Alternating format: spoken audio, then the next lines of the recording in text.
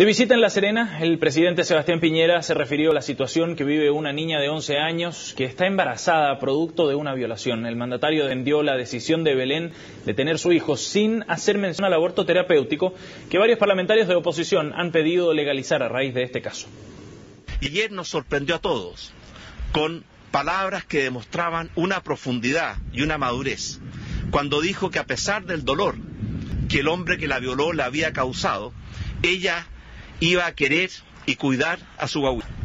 Yo quiero decirles que estamos permanentemente preocupados de la salud y de proteger la vida de Belén. Y también que cuando se cumplan 22 semanas de embarazo, es decir, en ocho semanas más, si fuere necesario tener un nacimiento prematuro, se tendrá que realizar esa terapia. Porque en nuestro país la vida de la madre está siempre en el primer lugar y nosotros vamos a saber proteger la vida de Belén con todos los instrumentos que nos da la ciencia médica y con todo el cuidado que le está prestando el sistema público de salud.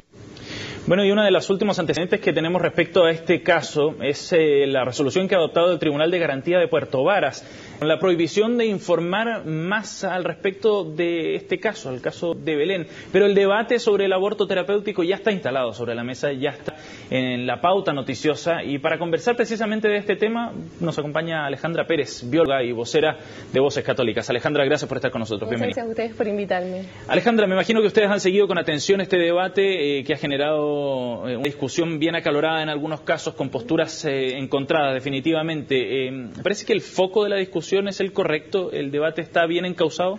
Bueno, nosotros hemos, los voceros, en general Voces Católicas, ha propuesto que el foco efectivamente no está bien encausado.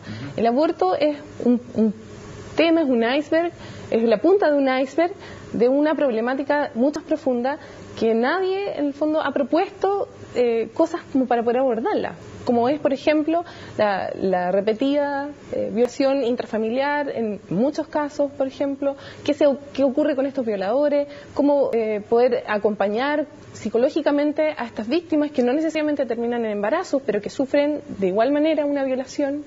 Ahora, eh, ¿no son esos caminos complementarios a la discusión que se está dando ahora respecto al aborto terapéutico? ¿No se puede legislar sobre esa materia y a par eh, enfatizar o reforzar la prevención en aquellos puntos?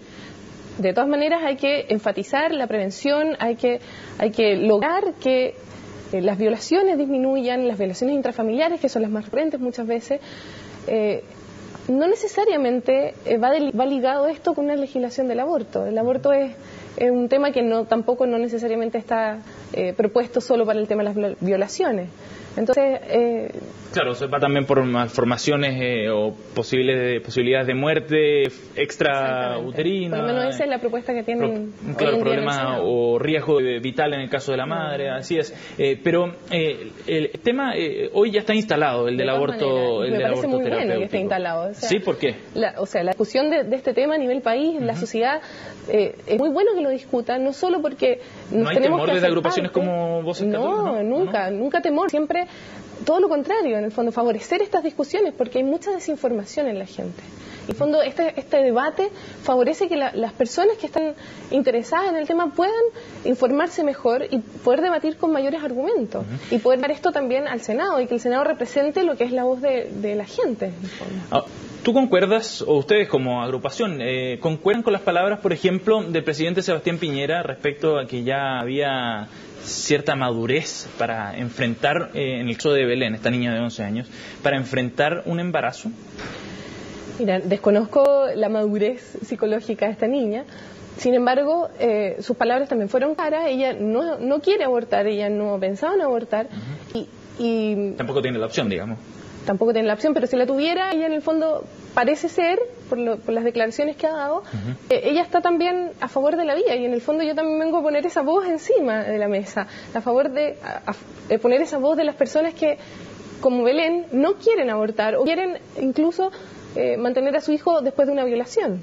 Que hay muchos testimonios de eso. Hay muchos, por ejemplo, si uno se mete a internet, es fácil encontrar testimonios de hijos que fueron producto de una violación y que dan las gracias a sus madres por haberla por haber acogido esta vida, por, por, por, ser ellos, por estar vivos y poder... Eh, Pero Alejandra, ¿ustedes creen que efectivamente una niña de 11 años, sea Belén u otra, eh, tiene las facultades emocionales, el desarrollo cognitivo como para asumir una responsabilidad como aquella? No es lo mismo claramente tener una muñeca, como ella ha dicho, que quisiera cuidar a ese hijo, eh, que tener un hijo efectivamente de carne y hueso. Mira, de todas maneras es un tema complicado. Y no solo el tema de Belén, tiene 11 años, de acuerdo, pero hay muchas niñas de 13 años que tampoco son, son distintas. Hay muchas, el embarazo adolescente hoy en día es un problema a nivel del país que está aumentando el embarazo adolescente y políticas al respecto, por ejemplo, no se han mencionado ninguna. El embarazo adolescente eh, tiene riesgos eh, médicos y políticas al respecto tampoco se están realizando y el aborto no, no, no soluciona ninguna de estas problemáticas a nivel de país. Eh, pero eh, por último, la familia tendría la posibilidad de decidir que su hija, que es víctima de una violación, eh, está en condiciones o puede tomar el camino de criar a ese hijo, de recibirlo y de mantenerlo en, condiciones óptimas. hoy día ni siquiera esa opción está. No es facultad aquella de la familia, precisamente, de la familia de, de niñas que sufren con este problema. Pero mira, tú me, tú me pones ese caso y yo te doy vuelta a la pregunta. Miremos la familia de Belén. Su madre está en el fondo ahogando por su pareja, diciendo que en el fondo ella, desde 11 años, está absolutamente de acuerdo con esta relación, que por cierto era una infidelidad respecto a ella. Entonces, la madre de la niña violada eh, parece también tener un, trastorno, por decirlo sí, probablemente la, familia no sea el mejor ejemplo de esta familia en particular, pero eh, a partir de este caso lo extrapolamos a otros que puedan haber. y es ahí donde nosotros. La mayoría de las violaciones. Donde te planteo esta pregunta. La mayoría de las violaciones terminan en embarazos, son violaciones que ocurren dentro de la familia. Una familia en donde ocurre una violación reiterada, como para que termine en un embarazo, ¿crees tú que es una familia apta para tomar una decisión de si esta niñita sigue o no con la vida. Con, Puede ser un accidente o una violación eh, también en la calle, digamos. No estamos hablando solo de violaciones eh, de niñas, sino también de adolescentes, por ejemplo. De las violaciones en la calle, físicamente es muy complicado o es muy improbable que ocurra un embarazo. Primero porque una violación en la calle es fortuita tú sabes, las mujeres tienen ciertos días del ciclo menstrual en las que son fértiles, que justo coincida con uno de esos días, ya. Supongamos que coincide. Pero que cabría la posibilidad, por último, cabría la posibilidad. Físicamente y psicológicamente el estrés de la violación disminuye aún más las probabilidades de quedar embarazada, porque el cuerpo de la mujer reacciona frente a estrés. Y en caso de que sucediera efectivamente, si por todas las coincidencias de las que tú hablas y de circunstancias llegara a suceder una... Mira, ¿No es esa una decisión de la mujer, como quienes defienden el aborto terapéutico justifican? Ellos dicen, esta es una decisión de la mujer respecto a su cuerpo. Eh, yo tengo mis discrepancias al respecto y quiero hacer una nota. Si tú te fijas, Aquí todo el país ha opinado respecto del aborto, de, del aborto no, de la posibilidad de aborto o no de Ben. Y resulta que ella recién ayer dijo que no quería abortar y resulta que, o sea, o sea, todos nos sentimos, incluyéndome, qué pena, pero con el derecho de opinar acerca de si ella está o no, si debiera o no. Pero la discusión va mucho más allá del caso de Belén. El caso de Belén pone el tema sobre, el, sobre la mesa. Eh, ahora... y sin querer evadir tu pregunta. Sí.